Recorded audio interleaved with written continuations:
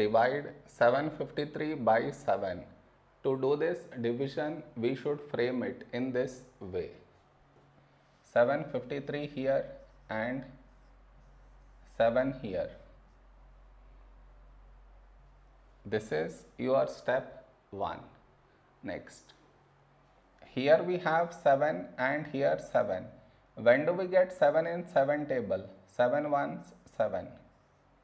Now we should subtract. We get 0.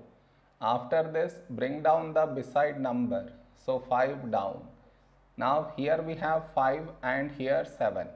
5 is smaller than 7. So we should bring down the second number. And the rule to bring down second number is we should put 0 here. Then only we can bring this number down. Now 53. A number close to 53 in 7 table is 7 sevens 49. Now we should subtract. We get 4. No more numbers to bring it down so we stop here. This is our remainder and this is our quotient.